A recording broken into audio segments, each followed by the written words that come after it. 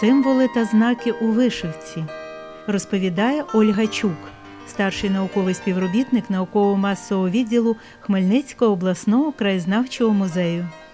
Техніка будь-якої вишивки це не лише естетичне мистецтво, це справжній тайнопис. Для того, щоб прочитати його, потрібно володіти мовою символів знаків з давнім підґрунтям.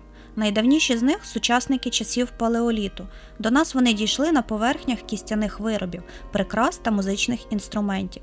Суттєвий вплив мали вірування предків, язичництво та стихії, сонце, земля, вода, зорі, поєднання чоловічого та жіночого начал. На подільських сорочках часто зустрічаємо коло, символ сонця, безкінечник символізує вічність, неперервність буття, сварга або ж свастика, хрест, що рухається у різних напрямках, урівноважує людину, створює гармонію. Трикутники вершиною догори чоловічий символ, вершиною донизу жіночий символ. Їх поєднують у лінійні зубчасті узори, у пісочний годинник, у ромб, накладанням у шестикутну зірку.